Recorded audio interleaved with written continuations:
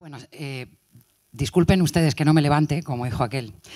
Eh, pero hemos decidido que esto, aunque la verdad es que nos animamos y acaba pareciendo un poco meeting, iba a ser algo como relajado, para pensar, eh, para lo que dice el título, no desesperanzarnos en un momento tremendamente complicado. ¿no?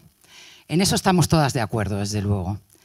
Em, y, cuando pensaba qué podía compartir con vosotras para que nos centrásemos en el momento en el que estamos y, nos cargásemos de, razones, pues em, me acordaba de algo que igual va a sonar un poco pedante, pero eh, espero que, me perdonéis.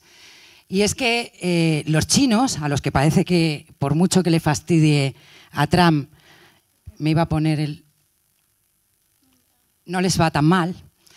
Em, en la filosofía clásica que tenían decían, así hace mucho, que un problema que al menos no tiene en su seno una gran contradicción, no merece el esfuerzo que requiere el resolverlo.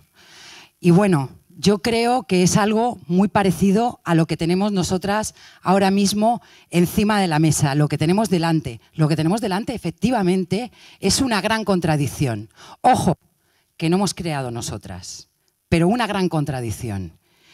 La primera parte de la contradicción es que evidentemente este país, eh, las clases populares de España, eh, la clase trabajadora sobre las espaldas de las que se ha amortizado esa crisis de la que desde luego solo han salido unos pocos, no se puede permitir unas nuevas elecciones.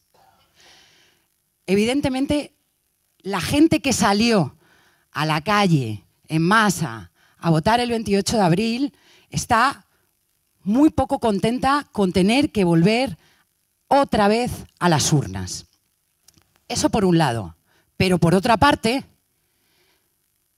las clases populares, la clase trabajadora de este país, eh, todas las que seguimos pagando las consecuencias de una crisis de las que solamente han salido las oligarquías, la banca, las grandes empresas, los beneficios de los que más tienen, obviamente tampoco puede permitirse que se hagan de nuevo encima de ellas políticas neoliberales a favor de esas mismas minorías.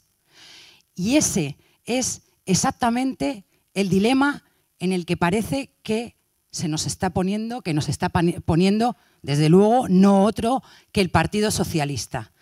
Porque veréis, yo veía hace unos días a Ábalos posando como si fuera un actor de cine en la portada de, de La Razón, diciendo que le habían negado o que le iban a negar tres veces. Y mirad, ni siquiera estábamos en coalición en 2016, pero yo voté en contra de esa investidura. Y aún hoy tengo que decir que lo volvería a hacer, porque estamos nosotras en el mismo sitio. Y fijaos, el que también está en el mismo sitio es el Partido Socialista, que cuando estábamos entonces negociando un programa de izquierda muy, muy poco ambicioso, estaba reuniéndose en la sala de al lado, y me acuerdo de Jordi Sevilla corriendo de un lado para otro, te acordarás tú también, estaba reuniéndose con ciudadanos y estaba regalándole, sin que nadie se lo pidiera, la vicepresidencia del gobierno a Albert Rivera. Este mismo Albert Rivera que clama y se va a manifestar con el Partido Popular y con la ultraderecha fascista de Vox. Entonces, ¿quién nos ha puesto en esta encrucijada? Creo que las cuestiones que se han puesto encima de la mesa, el programa que ya se mandó, que ha sido sepultado, con otro, con muchísimas medidas, algunas que parecen un verdadero chiste. Todavía no han sido capaces de sentarse a decir cuáles son las políticas de izquierda que se van a hacer.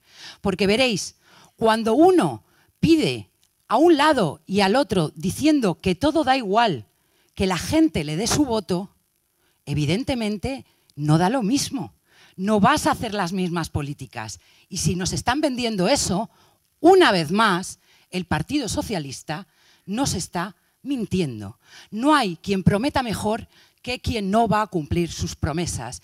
Y no hay, si me engañan una vez, es culpa mía. Creo que aquí ya se ha investido presidente a Pedro Sánchez, por lo menos en una ocasión gratis total.